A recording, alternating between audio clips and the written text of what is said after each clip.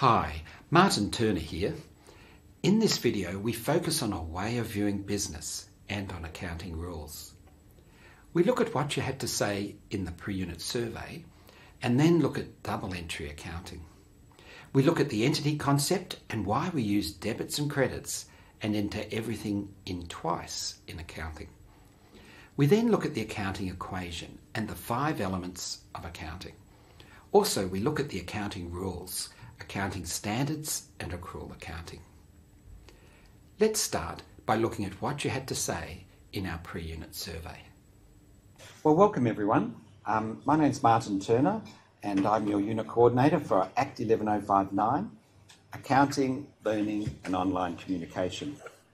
And uh, in week one, a number of people discovered that there was not just accounting, but also learning and online communication in our unit. And we emphasised learning particularly last week, and uh, a little bit of accounting and also online communication. Today we'll be doing a little bit of learning, but mainly accounting, as we look at the way of viewing business. We'll be looking at how accounting is a way of viewing business. And we'll also be looking, just very briefly, at the accounting rules. And as we study accounting this term, we'll realise there are a lot of rules in accounting.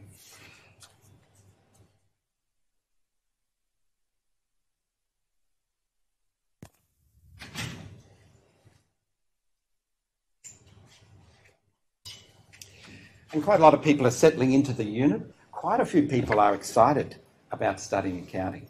A number of people were excited about studying accounting before they started the unit. And, uh, um, and so quite a lot of people have started to get engaged into the unit. And uh, so if that's you, that's great. If you're still settling in, um, there's still plenty of time. There's uh, still 11 more weeks. Also, we have our PeerWise addicts. I've got a number of PeerWise addicts in the unit, as happens, and uh, that's all good. Repetition is part of learning, so PeerWise can be very good for reviewing the material in the readings. So there's quite a few people, well, quite a lot of action there, and uh, so there's a couple of quotes from students. And I've been enjoying reading what people have said in their assignment one, step ones as well, and uh, I've marked probably 60% of everyone's step one. So we're going to look at the pre-unit survey briefly. Uh, I enjoy reading through. I sort of print it off, read people, read everyone's comments on the um, on the uh, um, that they said to various things. It's, it's, all very interesting, and I'll give you a bit of a summary of that. Uh, we'll then look at a way of viewing business. We'll look at double entry accounting, the entity concept. The entity concept is the one big idea that accounting's had. It's been around for thousand years, probably or more, and that's the one big idea accounting's had. So we'll look at that big idea that underlies the uh, uh, double entry accounting model that we have in accounting. We'll see that and leads to the duality of transactions in accounting, the dual effect of everything a firm does in accounting. Debits and credits, we'll see that they're just not meaningless terms, but there's actually reasons why we're doing all this. And so we're looking at the why, and the accounting equation, the five elements of accounting. That's all, it's a business model, accounting is a business model, and we just look at those five items. Oh, Maria, is the sound going all right in Mackay? Sound is perfect, thank you, Martin. That's so good. You're sounding good too, Maria, that's fantastic. The five elements of accounting, accounting, assets, liabilities, equity, revenue and expenses. That's all that we look at in accounting. There's a lot of else things going on in a business, but they're the five things we look at. Models simplify reality, and accounting is a simplification of what's going on in a business. But these ideas in accounting, the entity concept, these five elements accounting and so forth, have turned out to be very powerful ideas. So powerful that we're still using them today, uh, even though everything's being digitised and so powerful that the big four main accounting firms in the world are four huge companies with $40 billion of revenues of revenue each year. And if you go and look at the CEOs of companies, listed companies, say in Australia and other countries, you see a whole whack of them have accounting backgrounds on accountants. Ryman Healthcare, which is my firm, it has its, its previous CFO is the current chief executive, and the previous chief executive was the CFO before that. They don't get the guys who are running all the biz, all the property development and the huge building programs, huge stuff going on there. They don't get the people running the um, aged care centres, retirement villages. They get the accountant to run the company. So one of the questions you can ask is, why is this? Why is accounting so important if you're on the board of companies or running companies? Why have these ideas been so powerful? That's some of the things we'll look at today. Then we'll have a quick look at some accounting rules. Just a little intro. Accounting has a lot of rules. We'll be looking at accounting standards, accrual accounting. And I think we'll skip the minute paper this time. So the pre-unit survey, what do you think learning is, was the question there. And we saw last time we can, we can conceive learning to be a quantitative increase in knowledge. That's the most simple way we can view learning. I just want to chuck stuff in the backpack of a backpack and just accumulate stuff. It's the most simple because there's no idea of what we'll do with it. So it's very simple. It's just collecting quantitative, so it's about quantity. The second, which includes the first, each of these are accumulative, is memorizing. So we don't just accumulate this stuff, quantitative increase in knowledge, but we also memorize it so we can reproduce it, say in an assessment, an exam or assignment. The third is the acquisition of facts or methods. This includes the first two, quantitative increase in knowledge, memorizing, but this is where we apply it in the real world, say to jobs. You know, I'm going to learn stuff about accounting and I'm going to be able to use it in a job. Those three, if you, and, and we'll look at what you said to those three, those three uh, lead us, will inevitably lead us to just surface learn. We'll just want to do it quick. Just give me the stuff, I'll get it, and I'll reproduce the assessment, whatever it is, and we'll get out of here and move on. That sort of very simplistic way of viewing what learning is. The fourth one, which includes the first three, is the abstraction of meaning. It's where I'm in the I'm trying to make sense of this for myself. I'm trying to understand what this means in the classroom. And uh, but it just stays in the classroom. It doesn't get out into the real world. I'm just thinking about it. And then the interpretive process aimed at understanding reality is where I start. Includes the other four, but it starts where I. It changes the way I view aspects of the world. Some people in this unit change the way they view aspect of the reason for the seasons, and they start to see that the sun is at a different angle, and that's right. You just change the way you view something in the world. And the fifth includes all the other five. It's the most complex of learning, and that's changing as a person. So as I change the way I view the world, say the world of business, accounting, whatever it is we're studying, I change as a person. And it can often be in quite significant ways, for good or ill sometimes, depending what you're learning, changing as a person. So some people, we'll see what people said. When they're talking about what is learning, I categorise them, and this is sort of broadly it. Around, the first one is, is the uh, quantitative increase in knowledge, around half, and also around 30% with three, the acquisition of facts methods, which includes the other two.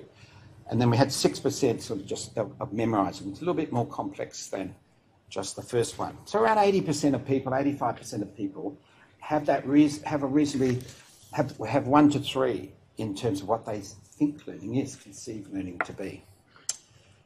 And that will lead you to rote learn. If that's what you think learning is.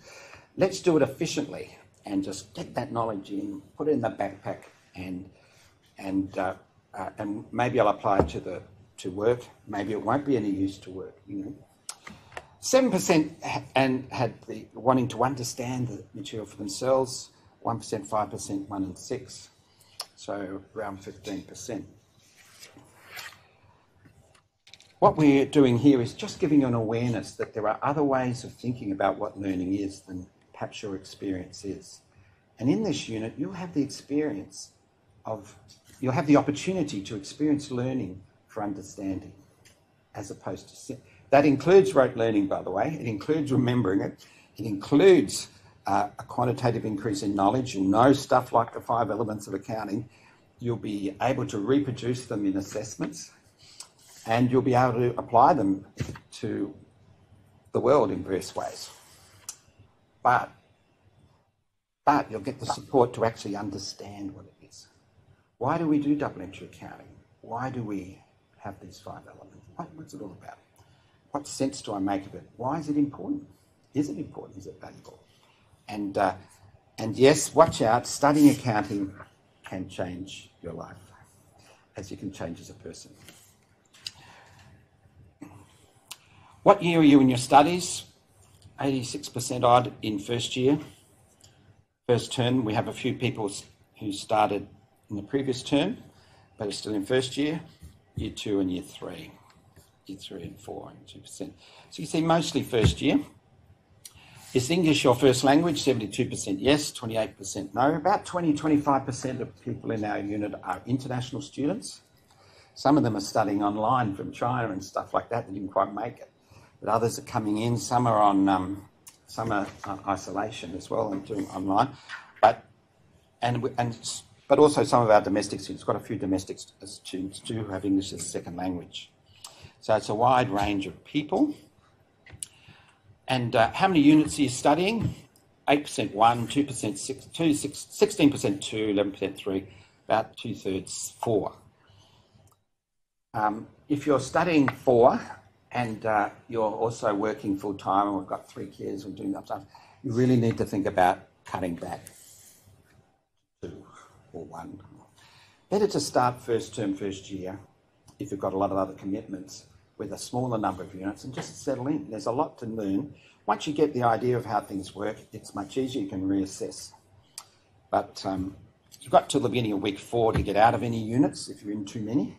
But you've probably got a bit of a feeling by now whether you feel you are overloaded in units given your other commitments. How much time do you expect to spend studying each week? Not to four hours a week, 8%, 5 to 8 hours, 26%, 9 to 11 hours, 43%, 12 plus hours, 23%. Um, the handbook, of course, says 150 hours for every subject. So I suppose people work that out at over, if it's 15 weeks, that's 10 hours. If it's 12 weeks, it's 12 and a half hours. This unit has been designed so that there is, if you want it, there is 150 hours of learning opportunities. And uh, but to get a D or HD, you're probably going to have to do at least around 100, 120 hours to pass around 80 hours. So there's around 25% of people who are planning to spend inadequate time to pass this unit at the moment. And uh, numbers of people plan to just study not every week a unit. Not, not a lot of people do this, but say a quarter. They're only going to study this subject this week or do nothing for a week or two.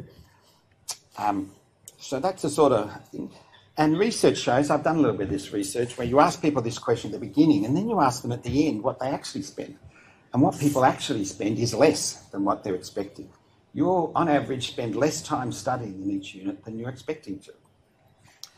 One of the key reasons why those Harvard students don't know anything about science when they get their science degree is inadequate time spent on study. What can you learn about accounting? if you're going to spend 40 hours on it or 50 hours. You'll learn nothing. You'll just work through the assessments. That's what you're going to do. And you'll come out, and I can ask you on graduation, and you know, I can. I've got a few questions that I have, and you won't. You know, you go, well, or you have the conceptions you had before. But anyway, that's interesting.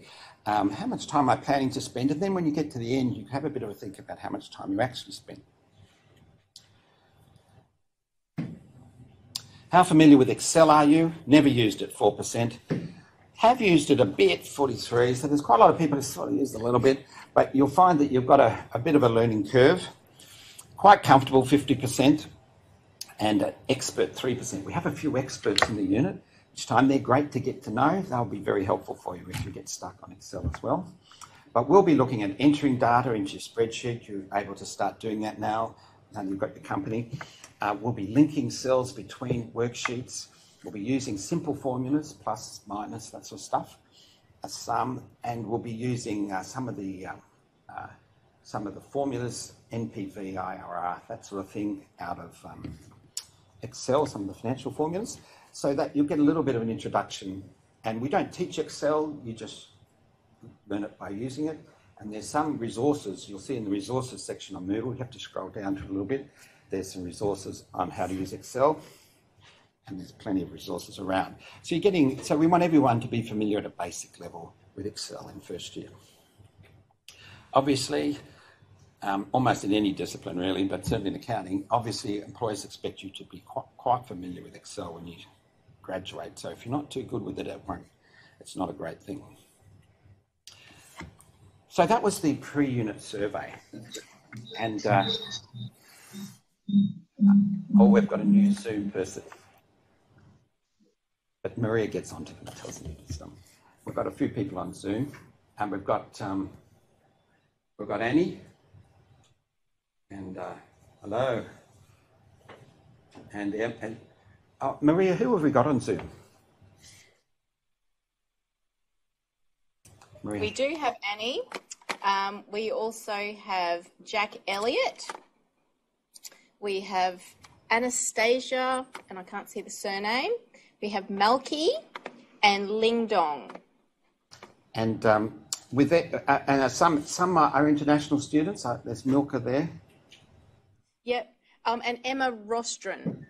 There's a, a link up for Emma as well. If uh, international students are attending uh, online, you can you can use the app to um, indicate your attendance, and then uh, somehow we'll work that through with the teachers confirming it. Um, but you might be able to discuss that on the Zoom comments if you, just to get that attendance sorted out. International students, um, we keep track of attendance. Um, double entry accounting, that's what we're going to study. That's accounting. Um, it's a system. It's a system of recording transactions, transactions, things that occur in the business of a firm to ensure the relationship between the elements of accounting, which we're going to look at today, between the elements of the business model that underpins accounting is kept intact. We're going to look at that model. We've looked at the fundamental accounting equation that summarises the model. So double entry accounting keeps intact that model as we uh, as we enter in transactions.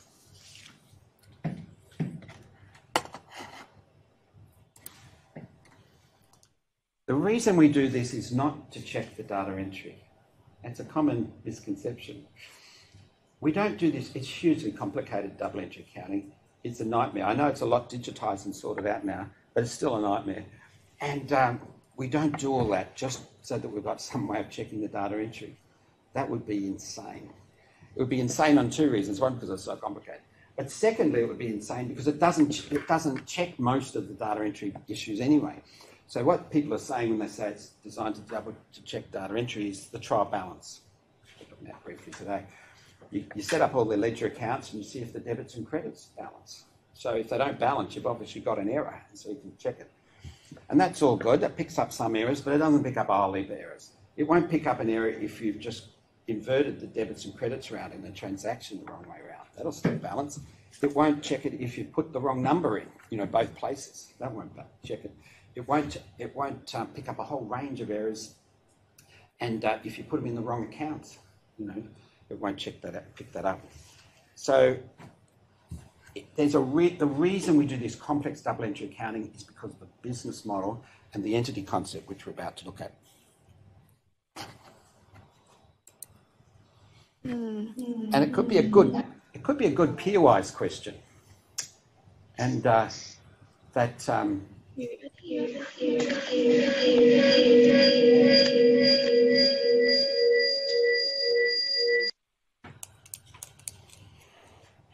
It's all right. Because we've got the Zoom and the and the Echo 360 working together. If Marie just has it, if someone has it double open, it can do that. Also, it could be good PeerWise questions. There's been a few on this. You know, why we have double entry accounting, um, all those sorts of, you know, and there's an answer actually. So you can make some PeerWise questions. You can even be writing them down, putting them in during class.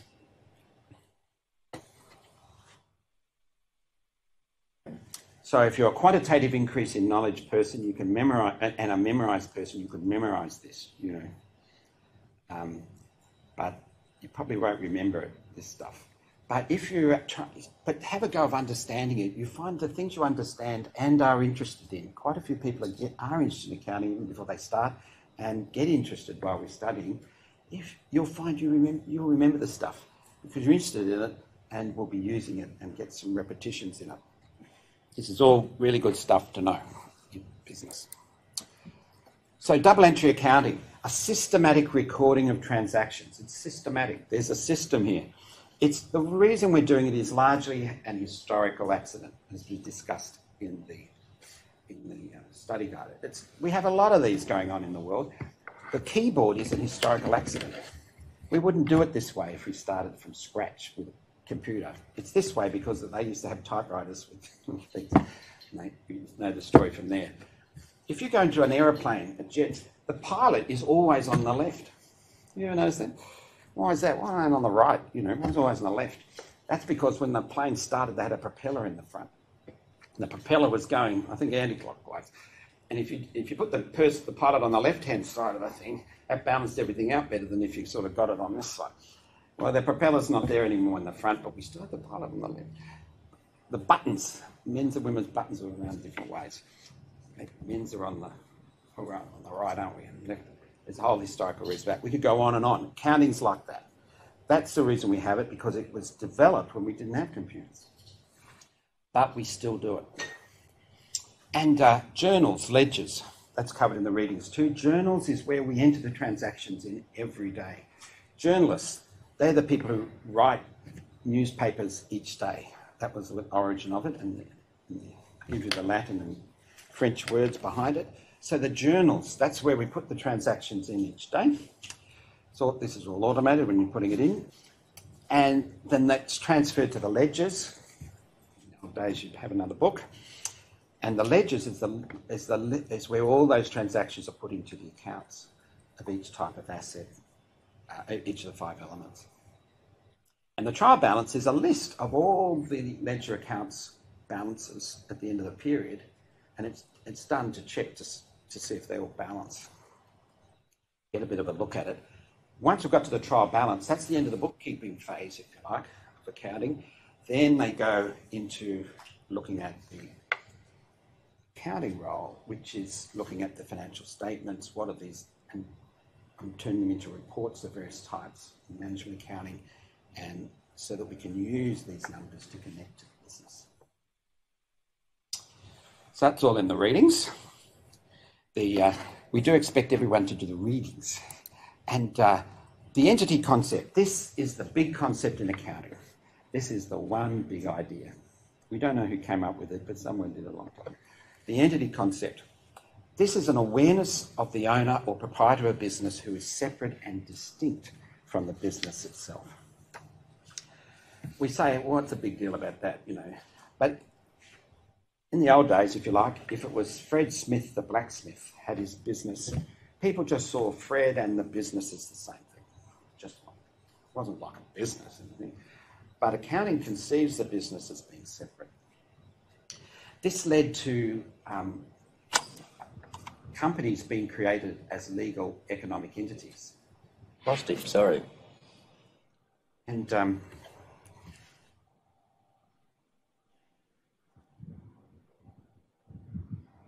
as legal. What have I done?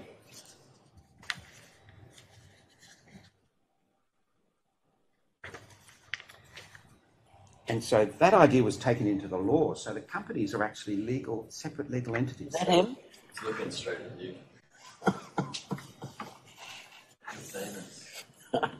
I'm stuffed up. That's what I've done.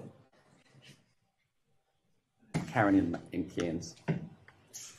Yeah, just turn the mic off. That's the most important thing, Karen.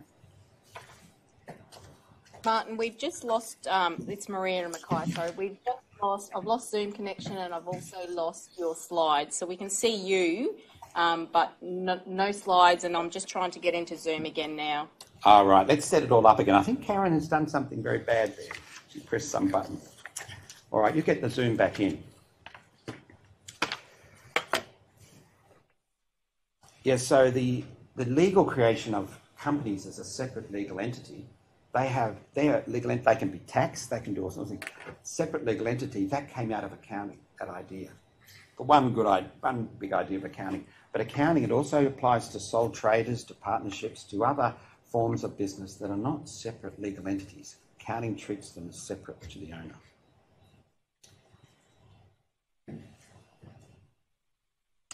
And so we also have separate records for the owner and the business. You don't mix them up.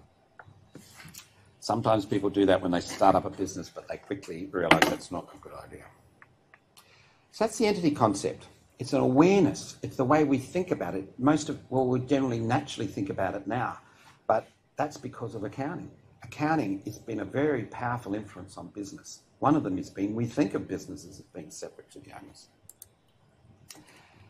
And what this means in accounting is that everything a firm does, every transaction, has a dual aspect.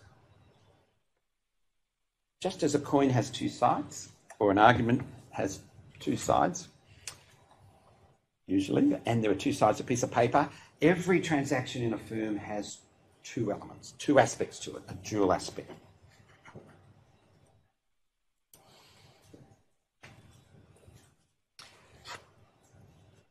So we conceive in accounting that everything a firm does affects the firm and its owners and nobody else. But of course, that's sort of lost track of how we see businesses increasingly. We see businesses as having impacts on the environment, on the general community. And so there's been a broad, you know, a broader view, but accounting doesn't take any account of that. It just looks at everything a firm is doing as affecting the firm and its owner. And a business, so a business, every time you do a transaction, we must make at least two changes in its assets, liabilities, or equity when it records each transaction. And we see that revenue and expense accounts are temporary accounts, which we then, then um, uh, clean, clear out into equity at the end of a period. So that's why we do double entry accounting. That's why we do it twice. That's the thinking behind it. Now, debits and credits. Where did they come from? Who came up with this idea? Well, the debit is from the Latin debere to owe. The and the credit is the credit is the Latin credere, which means to believe or to entrust. So when we increase an asset, it's a debit because we owe the firm owes an obligation to the owners to manage the asset well and provide a return on it for the owners. That was the idea. The firm hasn't created the asset itself.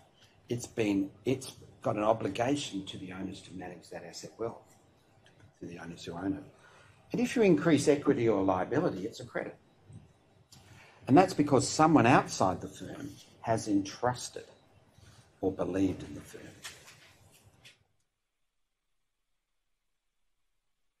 My youngest son, when he was five actually, he bought shares in Ryman Healthcare when it floated in July 1999.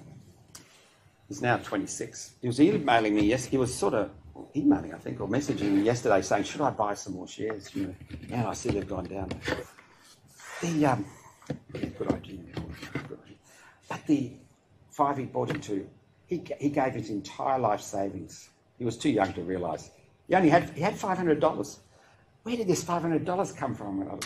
From the grandparents. They obviously kept in bits of money and we just put it into his account. So I said, right, put all that in.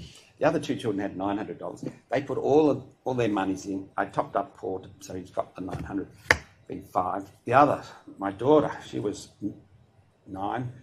She was not too happy about putting entire life savings into this they're entrusting the firm with the money. And she's saying, what, what if I lose it all? You know? So you see, the owners are entrusting the business with like real moolah.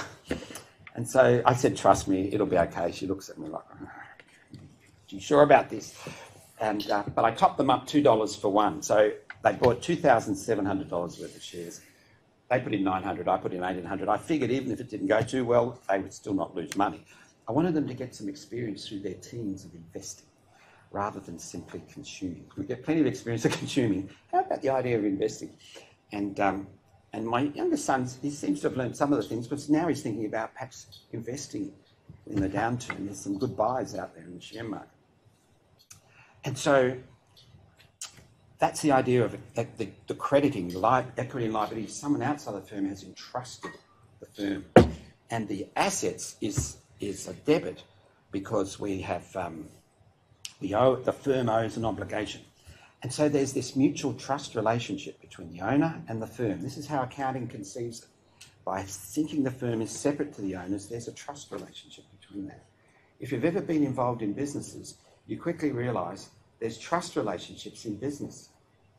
The global financial crisis, 2008, which just destroyed a lot of people's financially, still got a lot of effects today, was because the banks stopped trusting each other. They couldn't lend to each other. The whole thing gummed up because they didn't know they, all this bad stuff floating around in the financial markets there in terms of mortgage-backed securities and other things. They didn't know what the financial position of these banks were, so they just stopped lending to each other. They didn't trust. Lack of trust, the whole thing collapsed.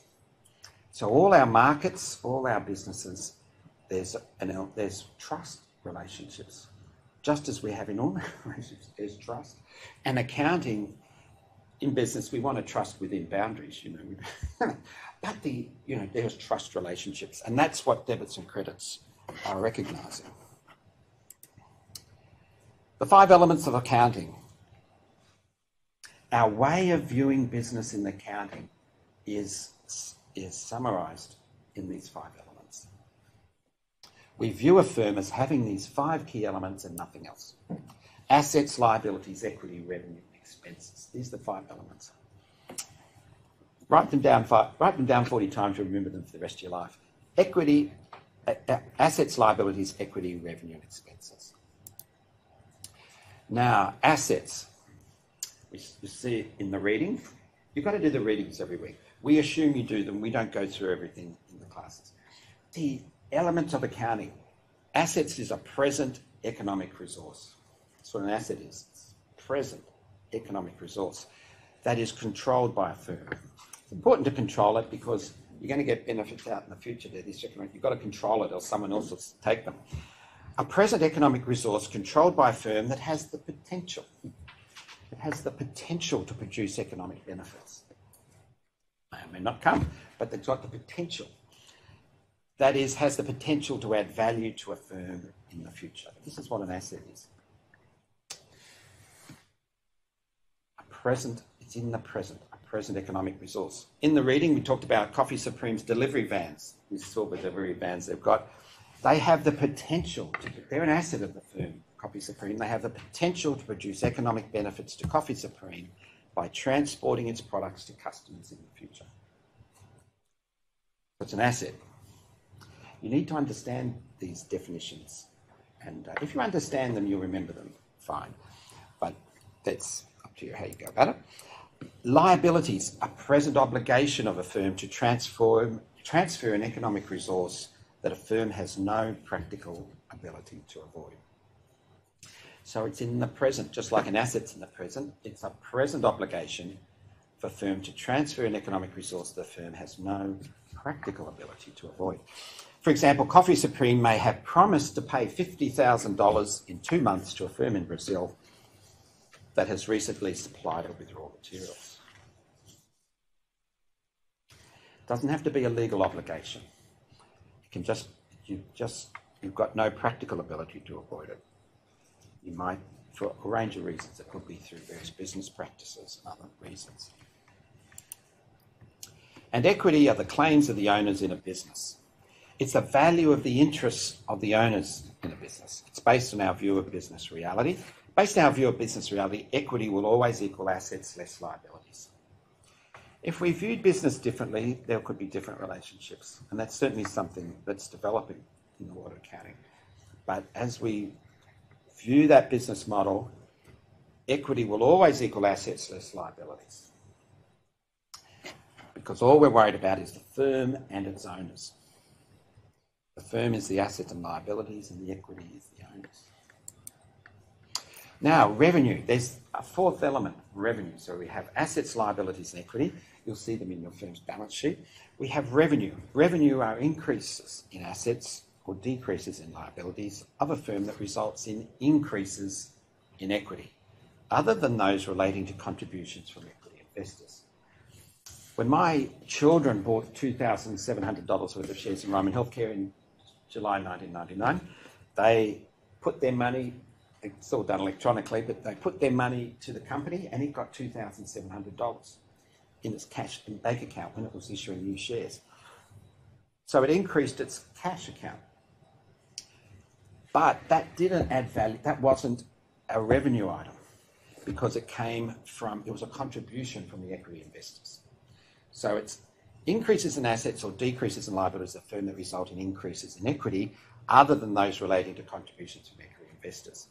So when my children paid their $2,700, I went to the company, their, their asset cash went up 2,700. Would that be a debit or a credit? That would be a debit. Increase in assets, a debit. And their equity went up 2,700. Uh, Ryman Healthcare raised some equity. Um, I think it was about 25 million, I think, or 15 million total. They raised some equity, and that's um, increased their equity. So that's what revenue is. And expenses are decreases in assets or increases in liabilities, so it's the reverse, of a firm that results in decreases in equity, other than those relating to distributions to equity investors. Ryman Healthcare pays out $100 million or whatever it is each year by dividends to its shareholders. That would, that would um, decrease its assets, cash, actually increases its liabilities as it borrows to pay for its dividends, increase its liabilities and would decrease its equity. When it pays a dividend, that decreases its equity. So when it pays a dividend, that would decrease its equity, which would actually be a debit because an increase in equity is a credit. So these are changes in value. Revenue expenses are a change in value in the firm. When a when a, a investor, when an equity investor, or if there's transfers between um, the, the shareholders between a firm, they're not adding value because that's just like my kids are giving the firm two thousand seven hundred.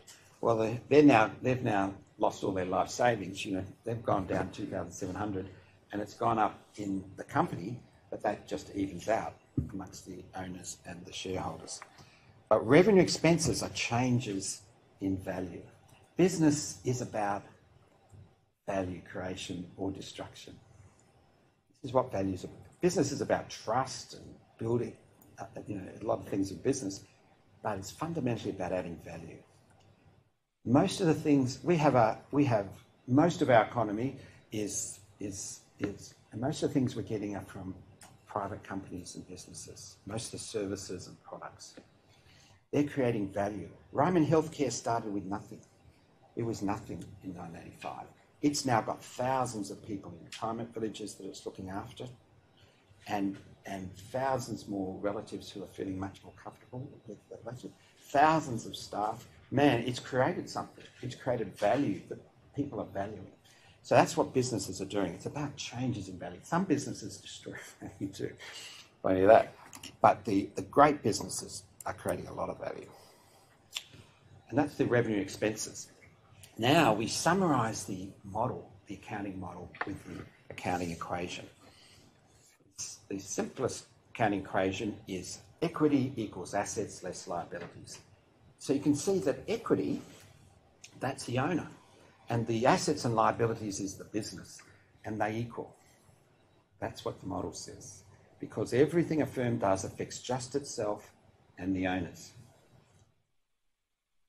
You might remember a while ago, BP, they had a problem in the Gulf of Mexico with a with one of their uh, oil rigs just went, oh, it just poured out all this oil for quite a long time. It was all on TV. It was a few years ago. Now, it was the first time I'd seen all this stuff. It just caused all this mayhem around, destroyed the fishing, caused all this oil everywhere, a huge mess. And a lot of political problems, even between the UK and, and the US. Barack Obama was the president at the time. He's furious, you know. And uh, so things firms do do affect more than themselves and the owners. Well, that affected a lot of stuff, but and um, and it, but we don't look at that. We look at only the extent to which, and that did affect the owners as well. They had to pay out a lot of money and all sorts of stuff, and it damaged their business a bit. But that's all we record here. What affects the firm and the owners? Equity equals assets minus liabilities. Increase in equity, credit. Increase in assets and liabilities, debit. Credit means that um, that uh, uh, uh asset. Uh, uh, no, I won't go through that again. Assets, but we can rearrange it into assets equals equity plus liabilities. That's just a simple rearrangement of that equation, and we often do it that way. assets equals equity plus liability. The reason we do that, um, I will get to that. Assets equals equity plus, it can express it either way.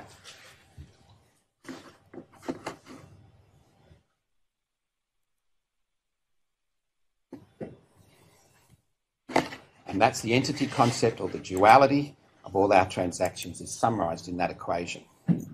Now we can extend it, the extended accounting equation. We can add in the revenue and expenses. These are the five elements. And we can express it like this assets equals equity plus revenue minus expenses plus liabilities. The revenue and expenses are changes to equity. How do we know that? We just did the definition of it. That's what it says.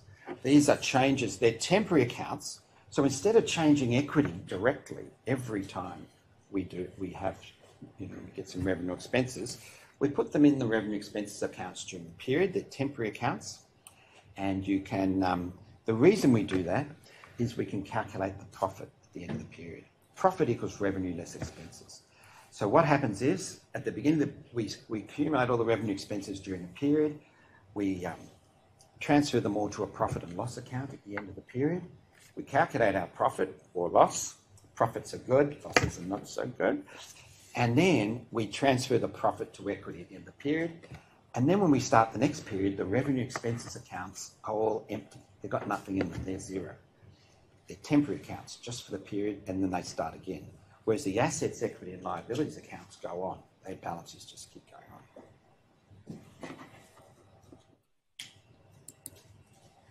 on.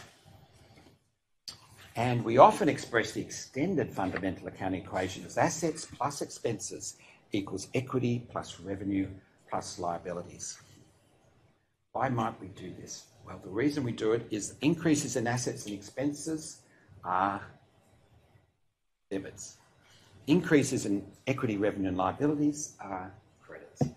So if you memorize the assets plus expenses equals equity plus revenue plus liabilities, you can memorize it by writing it down 40 times. You can do it eight times a day over five days. You can just go cold turkey, write it 40 times. And with occasional repetitions, which you'll certainly get in this unit and through the rest of your business career, you'll never forget it.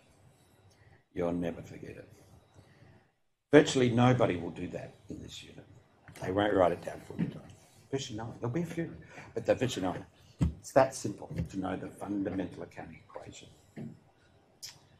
And it can also help you to know where the debits and credits lie. Assets are plus expenses. Increasing that are debits. On the other side, there credits. You can write it. You can write it five times or eight times just during class. The um, I used to do this sort of thing when I was studying undergrad accounting and other things. You know, we'd go skiing at Thredbo and places like this, and up in the, the ski lifts, be queues. You know, queues. And so I'm writing down, you know, the fundamental accounting equation while I'm waiting, you know, or whatever. And friends are going, Martin, what are you doing? What are you doing? I was like, I'm writing fundamental accounting equations. And they go, man, are you crazy? Are you nuts? You know, well, no, I thought this was important. I knew all this stuff. I knew that you needed to know some of this stuff in business. I've been on boards of lots of companies. I've chaired lots of companies. I've been on a lot of boards. And you always need a few accountants, at least somebody there. A lot of them, they're marketing other people. They don't know anything about accounting. They probably did first year accounting like this and can't remember anything about it. But, but you know, they present all these numbers and, and accounts and stuff. You've got to interrogate it. We'll be talking a bit about that later in the term. You've got to be able to understand how it got put together. This is important in business. It's part of the skill set. There are other things in business that are very important, but accounting is one of them. There's a reason why so many people running businesses, so many directors of companies have accounting backgrounds. There's a reason. And if you can find the answer to that reason, understand the reason for that, that's probably a very good takeout from this unit. If you understand the importance of that, you'll make the effort to get a bit of a foundation. Just as you study all the disciplines in your first year, in Bachelor of Accounting, Bachelor of Business, each of them are important and they all, all interact, interact. So I said that increases in assets and expenses is a debit and increases in equity and revenue is a credit. Well, that's the model. Now, there are also some account. There's a lot of rules in accounting. A lot of rules. You'll see that already. One of the areas is accounting standards. We have the Australian Accounting Standards Board, AASB. There's been a few questions on that already in PeerWise. And the International Financial Reporting Standards, IFRS. Over 100 countries in the world are subscribed to the International Accounting Standards. Almost, you know, great whack of the economy. The main company, country that doesn't have, has its own separate standards is the US. There's a couple other countries as well. US, they have concern. They their their accounting standards are more black letter. They have much. They have more rules and they're clearer cut. The international accounting standards have a lot more judgments, and the accounting standards, the, the FASB, the Accounting Standards Board in the US, it doesn't want to go into the international accounting standards because of all those judgments, and we'll be seeing some of that as we study. For those studying accounting, you'll definitely see a lot of that as we go through the degree.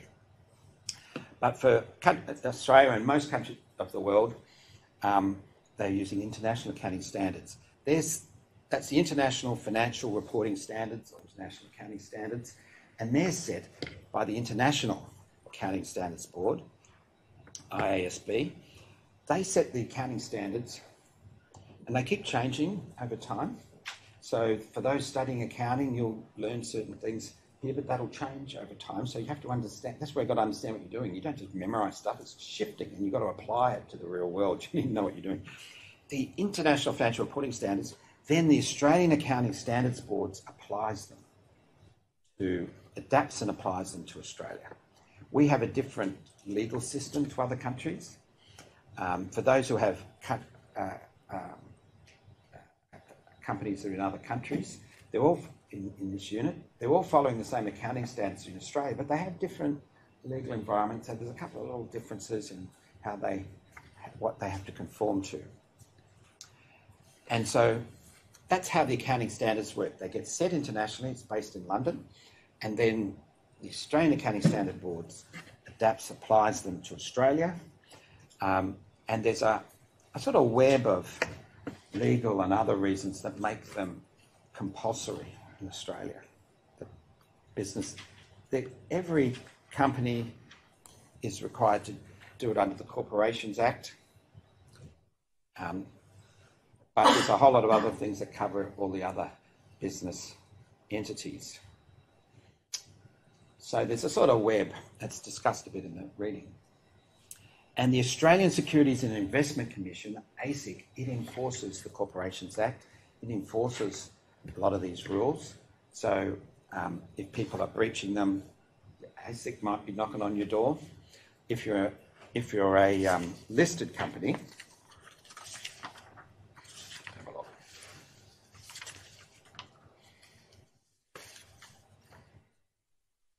That's on the next slide. If you're a listed company, the Australian securities exchanges in Australia or whatever your security exchange is in the country, they will also require you to follow the accounting standards. So all of our companies are listed companies. So if they start to breach the accounting standard rules, the stock exchange will be all over them, and ASIC will be all over them. It won't be good. So people stick to the rules. Also, the the professional accounting bodies, CPA Australia, the Institute of um, the INZICA, Institute of Chartered Accountants that's not quite right. The Institute of Chartered Accountants in New Zealand and Australia, and the Institute of Public Accountants, there are three main ones here, but particularly the, the Chartered Accountants and the CPA, they, um, if you're a member, if you're an accountant and a member of those professional bodies, you have to conform to the accounting standards um, as is required by your membership.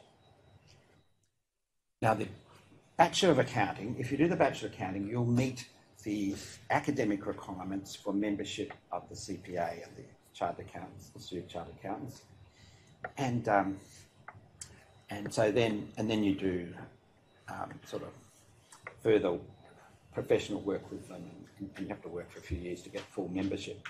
You can be a student member of those bodies now. I strongly advise you do that. There's the links to the um, membership to the uh, to those two CPA and the and Institute of Chartered Accountants Australia and New Zealand. You can um, go to their websites and join as a student member. Then you'll get various bits and pieces from them. You get access to all sorts of information. You can just get a feel for how the professional bodies work.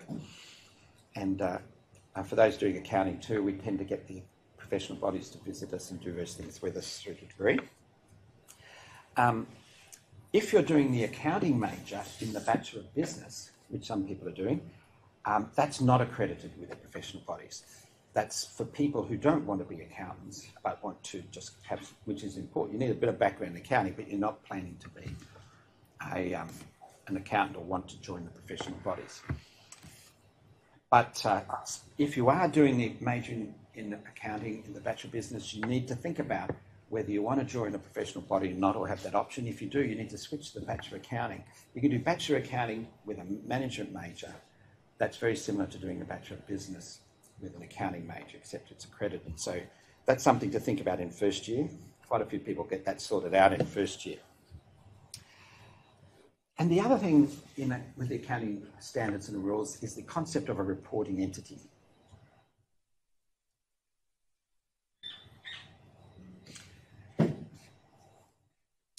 Number of people told me in their step one that they were very surprised that, um, you know, in the late 19th century or whatever, um, account, financial statements accounts were private. They weren't going to give them out to anyone. They're, it's sort of like our own personal, you know, financial. We don't go around putting on Facebook. Oh, I've got you know whatever. You don't. You don't it wouldn't be well regarded. And uh, companies were like that themselves. They was all private.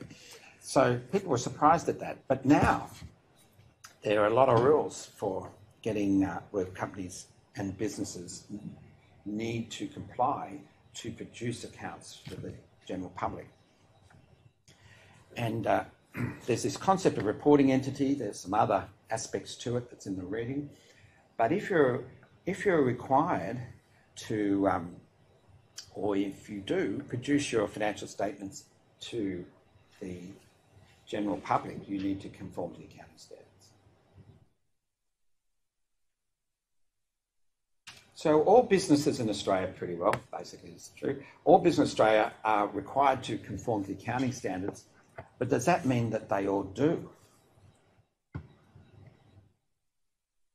If every, you just think about it, we got so many businesses, sole traders, partnerships companies, all sorts of things, private companies.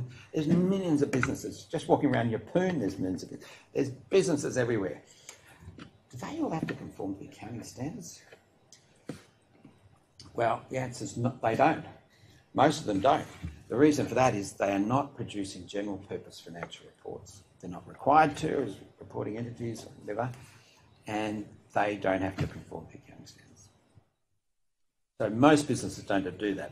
If everybody had to report to accounting standards, there'd be so much work for accountants, it wouldn't be funny. So if you haven't read the chapter, you need to read chapter two to understand where these rules apply and who has to follow them.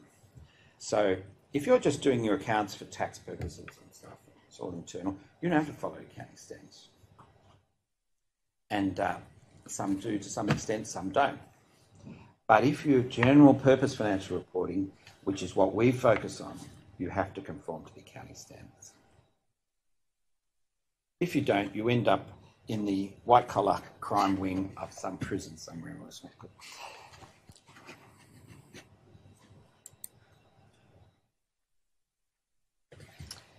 So accounting has a lot of rules in accounting standards, and we've just gone very briefly over how that sort of works broadly. But there are also principles and sort of um, ideas in accounting. One is the matching principle. The matching principle. Some people think, man, is, do I have to match my socks in the morning? What is this? The matching principle. Now, to, we're interested in value add in business. To determine the net profit of a business in a period, a business calculates the expenses involved in earnings, earning the revenues of the period and, and deducts the total expenses from the total revenues earned in that period. That is, it matches its expenses against revenues. It's calculating its profit in a period.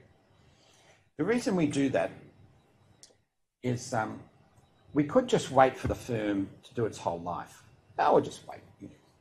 But some firms might take 100 years, or they might go on for a long time. what we want to know, we want to know generally, invariably, we want to know how a firm's going in a period of time along the way. We don't want to wait. Some firms, like BHP and Rio Tinto, but say BHP Billiton, it's gone on for like since the 1850s. You'll be, that's 150, 70 years. Man, you'll be dead before they, they never know what they're doing. So we want to know over a period. If we want to know the profit and the performance over a period of time, within that period, we're going to need to make sure that the revenue and expenses match. That the, the that the we include the revenue in a period and the expenses that were incurred to generate that revenue in the same period. Otherwise, we're not going to get a good profit figure. So that's the matching principle. That's what that's something that firms will certainly anyway that that will apply. Now, in, for the matching principle, we have accrual accounting. Now, this bit's important. If you if you if you're watching on video, I'd you know watch this bit particularly. The um, and just this is the bit to take out in this class. Accrual accounting is when we record transactions and economic events in a firm's accounts when their economic substance occurs. And this may be different, it often is. This may be different to when cash changes hands. So the reason we do that is we record these transactions and economic events in the events when the economic substance occurs because we're going to be wanting to match the revenue and expenses in a period. So this is a fundamental principle underlying accounting. If you don't know about accrual accounting, you know nothing about accounting. If I go up on graduation and ask you what accrual accounting is, and you go and tell me something, like those Harvard people, I know, man, you don't know accounting. Those Harvard people know nothing about astronomy and the solar system. they know nothing.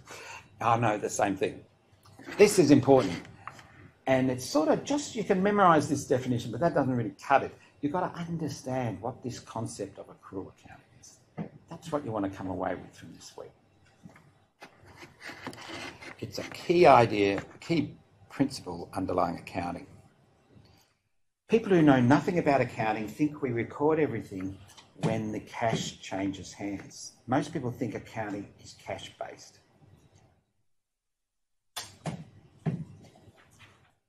Accounting records transactions when their economic substance occurs.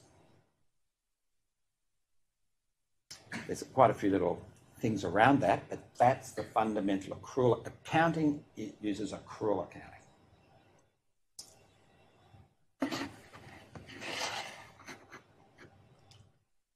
There's a lot of little wrinkles around that, but that's the fundamental principle. We'll be looking at that sort of thing quite a lot this term. And the key thing about this, when cash changes hands, is clear cut. That's so obvious. When the economic substance of a transaction occurs, that's not so obvious. It requires judgments. Judgments. What do judgments mean? They mean that different people will make different judgments. Otherwise, it wouldn't be a judgment. There's some subjective element to this. You've got to make a judgment. Some people will be better at making those judgments than others. Some people may make the judgments to make the accounts look good. So they might deliberately do some poor judgments. Or you might make some poor judgments just through not being too good at it. So, accrual accounting is one of the reasons why we have, uh, where we have to, where we record transactions when the economic substance occurs, which requires, can require judgments. And there's some examples of that in the reading, uh, you know, with me catching the bus and stuff.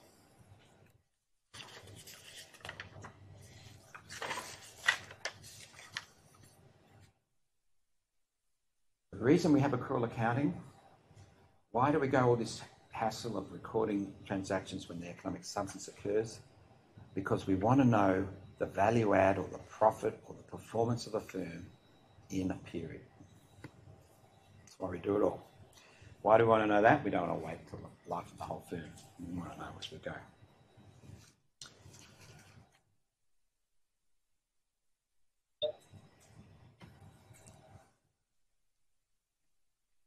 I catch the bus to Yeppoon. This is out of the reading. I catch the bus to Yeppoon, and um, you know, it, and I, I get on the bus, and then I swipe my little easy travel card. Swipe like that. And uh, every so often I put 50 bucks on it, and, and it just swipe there. When does the firm recognise its revenue? When does Young's Buses recognise its revenue? Does it recognise the revenue when the cash changes hands? When I give them 50 bucks? Give them 50 bucks and swipe it on. Goes into their bank account. Not automatically on a bus, I don't think. I think they have to take the till. I, I don't know, maybe this all records through to the account straight up. Maybe it does. Possibly it does. The old days, they take the till in, you know, it, that cash goes straight into their bank account, to their cash account. 50 bucks. The cash has changed hands. I haven't got it anymore. They have. Is that when they record the revenue? $50. It goes on the card. And then I go along and then I just swipe it along like this. And, and the bus driver smiles nicely. And I go on, and I hop on the bus. And then it takes me up. Sometimes it just drops off here, you know, the car park. And I hop off and walk across. When does the firm recognise the revenue? When does the economic substance of that transaction occur? Well, it's not when I give the 50 bucks. When I give them the 50 bucks, they haven't given me any trips. I've just given them 50 bucks. I, they have to give me some trips. And so when they, then I go on and I swipe the card. No cash has changed this time. I hop on the bus and it takes me down here and I get off. Well, that's when the economic substance of the transaction has occurred. They've given me the trip I've got here. And they've used the salaries of the bus driver, the bit of wear and tear on the bus and the tyres, and they've used those expenses. That's when the economic substance of the revenue has occurred. So each time I swipe the card. When does Young Buses record its revenue? How does it do that? But that's the concept of accrual accounting. And if you understand that, then uh, you understand quite a bit about accounting. But you have to think about it. Do you just want to, uh, you, are you just um, accumulating facts and knowledge and putting in your backpack? Or you could sort of write that definition down. But if you don't understand it, if it doesn't mean anything, you won't remember it anyway. And but uh, but if you take a bit of time to understand these, and it will take a bit of time to get these concepts, they'll stay with you forever, and then you'll change the way you view the accounts, anything you look at. You'll just understand that that's how it's done, and you'll be you'll have that skill set. You don't need to be an accountant. You can be in any area of business, but you'll, you, this is a fundamental principle. It's worthwhile understanding it. And planning. planning and time management key to success in this unit. A number of people have been commenting on that in their step one. Man, you know, some people are so organised. There are some people so organised. Man, they were looking up the unit profile three weeks before term started, and that's when the unit profiles come out. I even sometimes, some one or two people even email me asking me something about the unit profile three weeks out. I think, man, you guys are organised. Two weeks, the Moodle sites go out. This happens every unit, every term two units go out. Man, some people straight on the Moodle site two weeks. They've got the weekly schedule, they've got the assessment design, they're planning everything, they sing like everything, and yeah, looking at the rest of their lives. They go, man, these people are so organised. Bang, bang, bang. And so those people, they tend to do really well in this unit.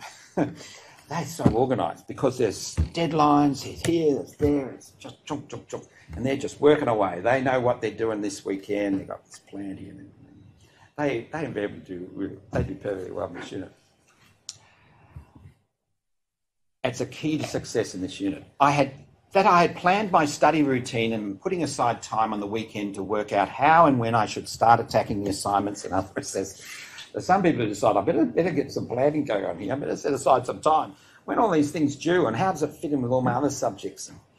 My co-worker studies with me, and on Monday we were both feeling overwhelmed. Quite a few people have felt overwhelmed. They started thinking, man, what's this? So much stuff. And just uni generally, overwhelmed. So we sat down and worked out what we had to do. And when it was due, and we both felt much better about it. I learned this when I was at uni too, it took me a few years. Being planned and organised is so good. I used to think, I don't want to be planned and organised. I want to be a free agent. I just want to just sort of wing it. And I, no, I, I, after a few, I realised it is so freeing to be organised. I'm doing all sorts of things. It might surprise you. I do more than this subject. You know, just as you're doing more subject, I've got all lots of things to do. All sorts of things going on, and family and other things, and you know, all that. Just like everybody else. But if you've got it all planned, you know, got various, it's all, so I don't have to worry about stuff. I know it's all, I won't forget this when it comes up. I've got, I know I've got to do these things this week for this over there. It just frees you up. When I learnt that lesson, it took me a while. that has been so helpful. So you get a little bit of an opportunity to develop your time management and planning skills in this unit. You've got all the deadlines for everything in detail, uh, and you can just follow that and plan your time around your other commitments. If you do that and realise you haven't got enough time to do this or do all your subjects, you need to get out of one or more of your subjects while you can, before paying fees and before failure, and just sort of work your way through. Everything becomes much more fun learning, real learning, active learning, learning that will change your life or change the way you view the world, that sort of learning takes time. It takes mental energy. And it's fun. Once you, if you're doing something you enjoy, if you're interested in business, okay, it's great fun. But it takes time.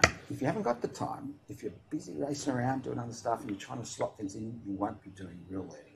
You'll be doing the pretend learning. And the pretend learning can get you to a degree. You can get degrees. But it won't be any good to you when you start work. what do they want? Once you've got your job, grades can help you get the job. That was my experience too. They get your job. But once you've got the job, like whatever grades you've got, and some people get great grades. I had better ones. I had such good grades. I had, I just had the grades. I was so good. I had nutted out this system at university so well. Where I was at. I just killed it, you know. But once I started work, from the day I started work, no one has ever asked me what my grades are. Not once. Uh, having the degrees, I've got five degrees actually. I've got lots of degrees. That's you still put. That's still important. They've never asked me. What have they been interested in from the first day I started? I started in investment bank and in mergers and acquisitions. What was the first thing? What have they been interested in? Not my grade. I can care less about grades. They're interested in my personal qualities and what I can do. That's what they're interested in. When I'm teaching this subject, I turn up here. You aren't interested in my grades. I could tell you all my grades. They're so good. But you don't care. You care about personal qualities and what can I do? Am I any good as a and you know the staff any good at this course? That's what you're interested in. So you that's what's going to count once you start work. So do both. You can get good grades. You certainly want to pass, and getting good grades will help you get a job. A lot of our students end up in jobs while they're studying, in accounting particularly. Everybody's got a job. You don't need to worry. You've got a job. The focus also on developing your personal qualities and and um, and um, what you know, you know what you can do. Communication online is going to be critical. Here's some time to practice it in this particular unit.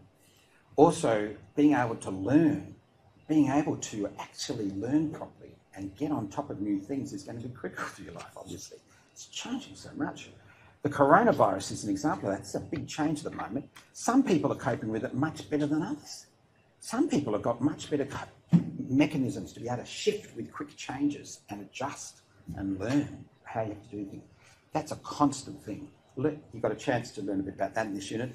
And accounting, accounting is just so great you've got a great chance to get a grip on the fundamentals of accounting in this unit, which will stand you in good stead throughout your business careers, whatever you do.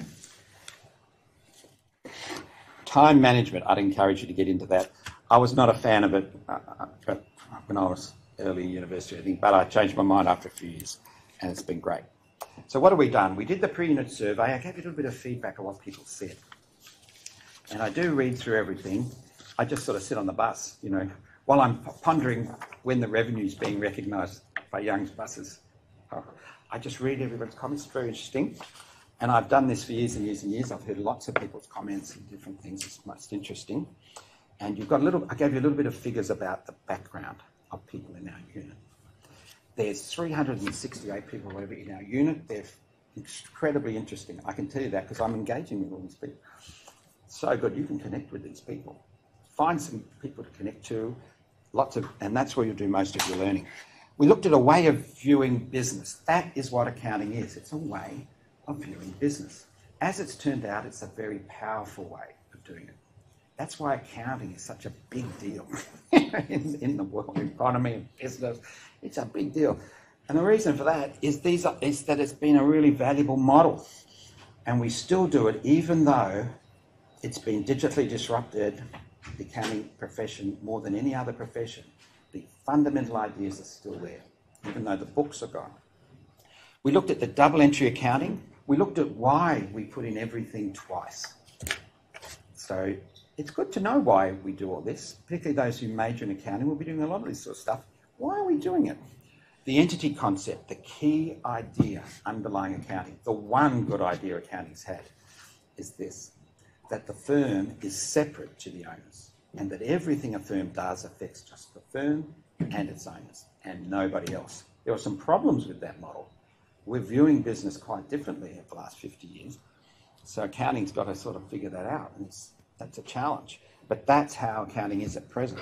The duality, there's a dual effect of transactions. Because we view everything as affecting the firm and the owners, we have to put in a transaction in twice because every transaction, the model we've got, every transaction has two effects. It doesn't just have one effect, it has two effects on the firm and on the owner. In reality, of course, transactions have more than two effects. They might be affecting the environment, for example, but we don't worry about that in accounting. It might be affecting the staff, it might be affecting the community in various ways, but we don't have any inclusion of that in accounts. We looked at debits and credits. We found out that debits and credits are not meaningless debits and credits actually came from somewhere. They weren't just sort of created out of the blue by some vindictive person. Debits and credits, debits, debere, credits, credit. The debits means to, the, um, to uh, um, oh, sorry, debits means to owe, to owe an obligation. The firm owes an obligation to the owners. That's why we debit an asset. The firm has an obligation, like Ryman's has an obligation to the owners, like my kids, to um, manage the assets it has well and generate value for the owners. My children are trusting them to do it. And that's where credit, the credit comes in. My children have trusted them with their own resources, with the firm, um, and, uh, and that's represented by the equity. Credit, debits and credits. You can spend a little bit of time just understanding that. You'll be streets ahead of almost everyone in business when you know that. And the accounting equation five elements of accounting. That summarizes the business model. Again, it's not just meaningless stuff, there's the model, the way we view business and accounting. It's a way of viewing business that's well worth understanding and getting into, which is what we're doing this term, because it's turned out to be a very powerful way of viewing business. I found that as well in my career. It's a very powerful way, so it's a good, it's a good way of figuring out business, uh, of looking at business. It doesn't include everything of business though. And we looked at accounting rules just very briefly. There are a lot of accounting rules. Some of them are written, like the accounting standards, and and uh, there's a whole mixed mash of ways of why people have to conform to them or not. And we that's in the reading. And then we looked at the principle, the matching principle, and then the principle of accrual accounting, which underlies everything. Accounting is not based on cash. Maria may love the cash flow statement, but accounting is not based on cash. It's based on accrual accounting. We record transactions when their economic substance occurs, which may be at different times to cash. So that's what we did. We just did a full on lot of me, um, but we'll be doing more interaction next week. Um, the, uh, so thank you very much, everyone. We can go to our, our uh, other classes now. And um, the, uh, I'll keep in touch with everyone, regardless of what happens with you know things shutting down with the coronavirus sort of stuff over time. This class will continue on as it is, either online, however it is. Its whole subject will just continue on. If you can't end up coming to class for whatever reason, you can participate Zoom online and everything else. It'll all just continue on. Well, thank you very much. Bye for now.